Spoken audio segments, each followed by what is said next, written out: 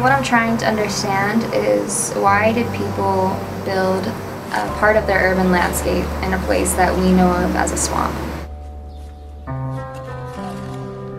So ultimately my question is what were environmental conditions like whenever they decided to build this Mountain Plaza group? We can really see the difference between two different types of construction methods.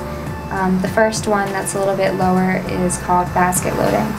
Um, and this is like the classic idealized um, way of mound construction where they just take a woven basket that they'll carry like a, like a backpack and they'll put the dirt and they'll just come and they'll bring it and they'll just dump it out and walk away.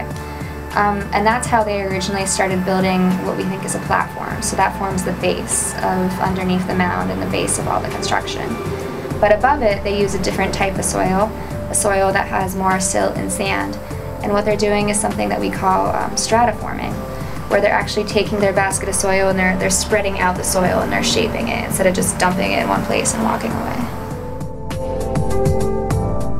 We have these really like larger regional data sets um, that tell us something about what the environment was like um, during kind of this period when we expect people to be planning their the layout of this site. However, those environmental conditions say that it was the wettest 50-year period um, in the past millennium. So why would people be building this in a swamp? Or is it just that, you know, our regional data sets aren't localized enough to understand what was happening at this particular site? Or is it that our understanding of the chronology and when people were actually building and laying out this site is wrong?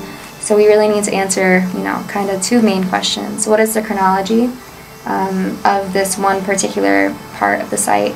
And what were environmental conditions like in the past and how did they change through time?